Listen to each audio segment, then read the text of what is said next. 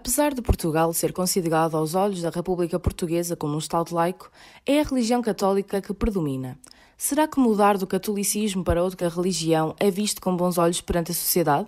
Rui Nogueira e Sónia Rodrigues são um casal que, apesar de ter sido educado na fé católica, vieram mais tarde a descobrir o universo das testemunhas de Jeová.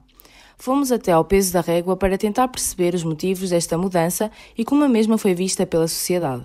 A minha relação com a, com a religião anterior era nenhuma Fui batizado, fui, fiz a comunhão primeira, a segunda, mas depois, quando era pequenino, minha mãe obrigava-me a ir à missa e depois deixei de ir. Deixei de ir, nunca mais quis saber da religião nenhuma. Celebrava o Natal e a Páscoa só para estar em casa a descansar com a família.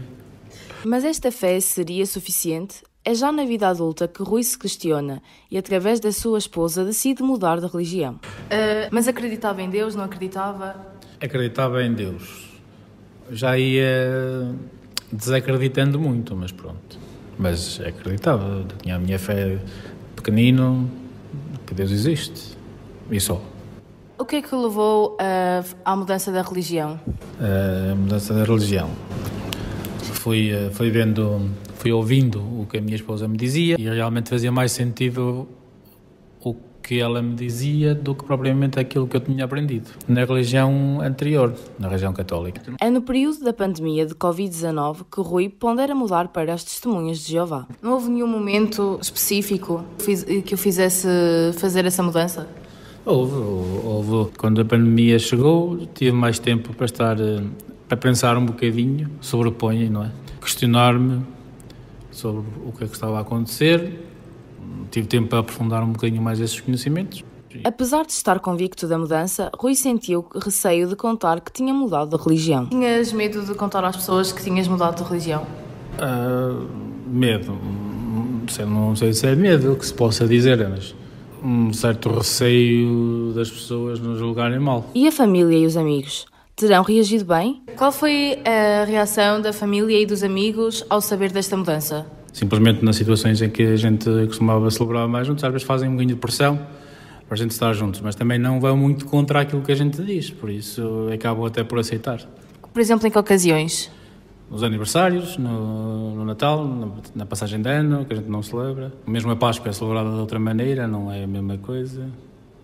E eles gostam destes momentos para estarmos em família. Como nós não celebramos, custa-lhes um bocadinho, mas eh, têm que, têm que aceitar. A esposa de Rui, Sónia Rodrigues, foi a primeira a decidir mudar da religião? Eu sempre acreditei em Deus, sempre fui uma pessoa religiosa.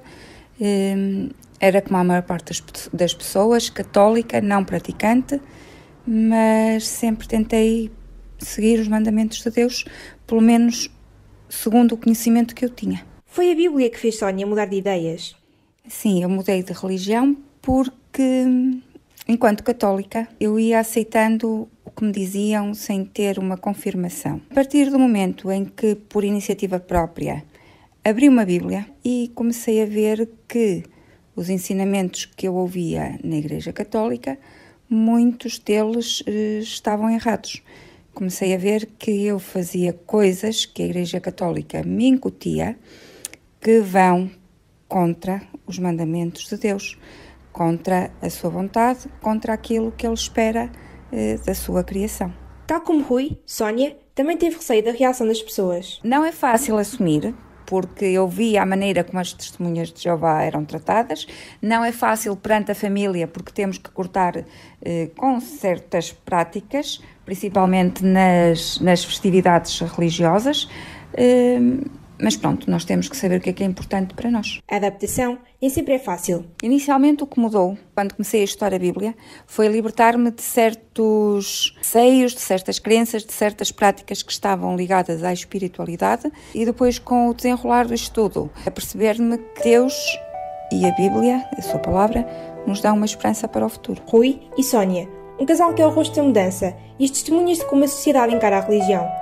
Uma reportagem de Adriele Miranda, Diana Almeida e Mariana Nogueira.